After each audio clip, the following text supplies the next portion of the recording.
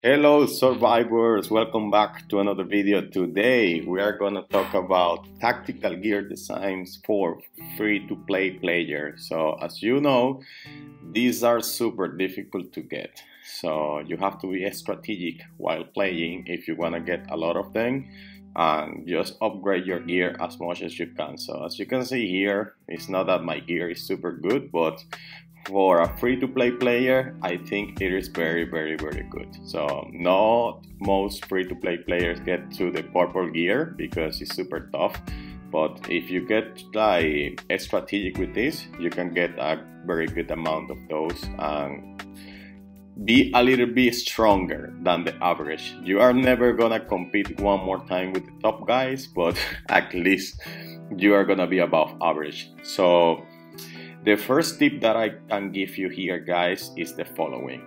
Apply delayed gratification with this game. So most of you like like seeing this number here go up, this battle power.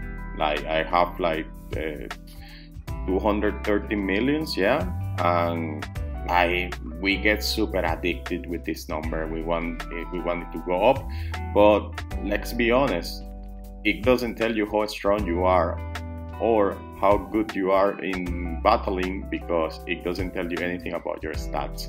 So if you get too carried away with these numbers, you might end up using all your resources like in terms of plasma cores, speed ups, like fragments and stuff just as soon as you can instead of just playing smart and saving them for events like these ones guys so this one is key for tactical gear design. So as you can see, it is tough to complete it. You have to get like 38,000 points and you use, you get them via fragments, via speed ups and plasma cores. So this event usually comes after like state versus state and comes every two weeks.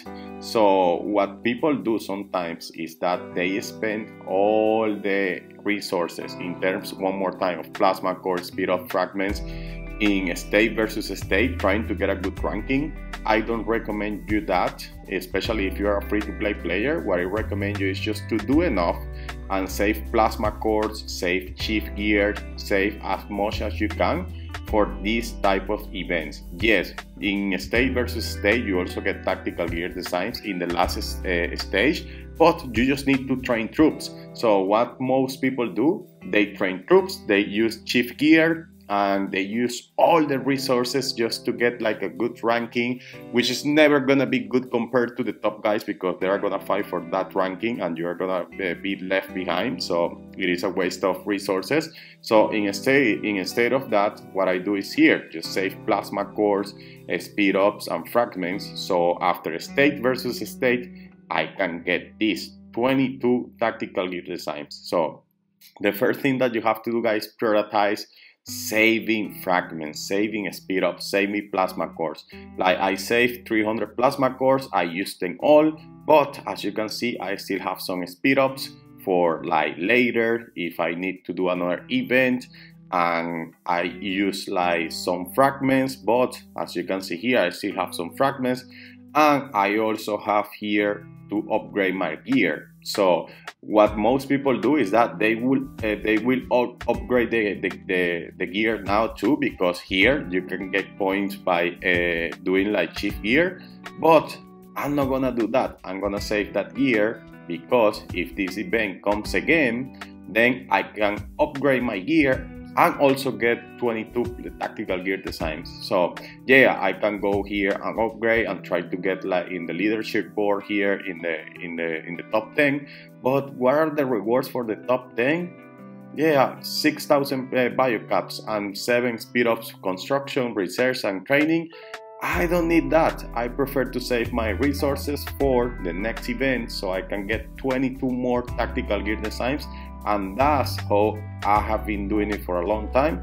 And so far it works out pretty well. So as you can see my gear is not that bad. My stats are not that bad for this state especially as you can see here. I'm close now to the 600s for the hunters and infantry. Um, like the rest of the stats are not good. If you see here in the leadership in the in the leaderboard um, my solo power like I'm rank 113 in the wall state which is not bad for a free-to-play player, guys. So that's the first tip. Um, that's the main income of Tactical Gear Designs. The other one is here in the store, the daily store. You get like once every two weeks or once every month the opportunity to buy one one tactical gear design here. So i recommend you to spare some biocaps. It costs like 900 biocaps. So save some biocaps for when this appears here and you can buy it. The other source of um, the other way to get tactical gear designs is here in the reservoir store guys. So some people as i always say they get super like addicted to the battle power number and they start spending like these coins on speed ups um, budget tats and stuff. No tactical gear designs guys. For free to play players you want to spend all your reservoir coins here tactical gear designs because these are super rare. You can get this through Capital. I made a video on, these ones on how to get them. So there are more chances of getting this uh, through the game for free than getting this one. So all the opportunities you have to get them, get them. So buy these ones in these events uh, like Reservoir Store. Now there is another store where you can buy those and it's here in Migo Store. So as uh, you see here, I bought them all. There, there were like 100 available, so I bought all of them. If you have the opportunity to spend like Migo information on one item, it will be tactical gear designs. One more time, don't go for budgets, don't go for mercenary influence.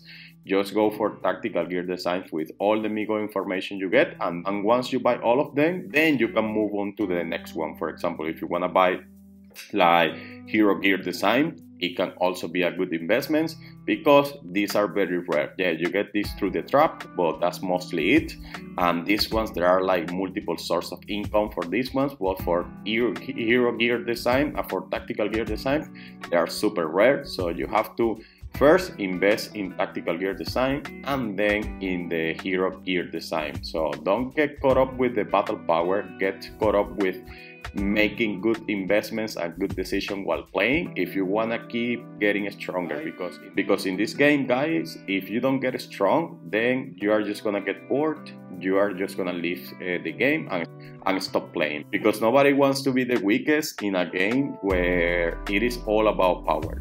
And you can also get them here in the survival challenge. This is a new challenge. As you can see here this store is refreshing every week so you buy every week seven of these tactical gear designs. If you buy seven of these every week, you get like 22 through the events. You get one in the daily store once a month, you, and you get uh, like some of them through the Migo event, and plus the Reservoir Race store. Plus, if they do another event like the Kamute Town and stuff, they put them there in those events, and you can buy them and of course all the coins or all the resources they give you for those events you're spending on first if there are available tactical gear design. If not then you get like hero gear design because gear is a big deal here in this game. The hero you can upgrade slowly buying here for example the vouchers uh, saving some biocaps like getting the golden fragment through events, as we know, but tactical gear designs that are super rough to get. And of course, you have to be saving for a power sprint. I also recommend you to save like for the survival of the fittest. And one key component for this is saving speed ups, guys. Um, don't use all your training speed ups because mostly the stages in those events where you can use like uh, speed ups or when you get points via training troops is when you get the tactical gear designs and you also get like 16 or 15 through the survival of the fittest.